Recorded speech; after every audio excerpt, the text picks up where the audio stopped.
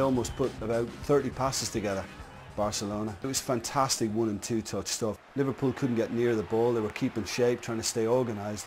A lot of the passing was in front. At the time, Eoin and Hyypiä were regarded as possibly the best central defensive pair in, in English football.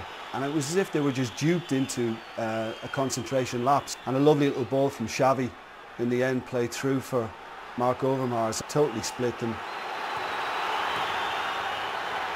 Xavi. Onside here Overmars.